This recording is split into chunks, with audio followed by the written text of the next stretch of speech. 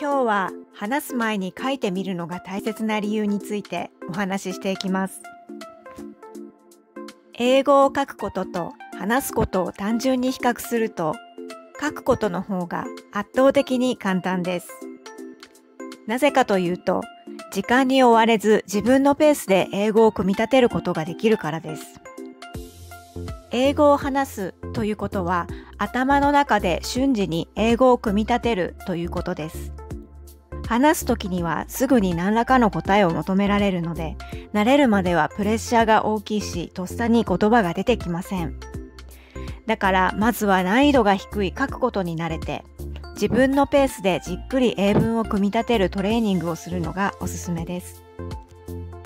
こう言いたいとき、英語でどう言えばいいんだろう？と一度調べたり考えたりしたことは記憶に残るので、話す時にも言葉が出てきやすくなります。いきなり話すことは難易度が高めだけれど、一旦書いてみるというプロセスを経ることで着実に話せるようになっていくのです。Thank you for watching. I'll see you next time.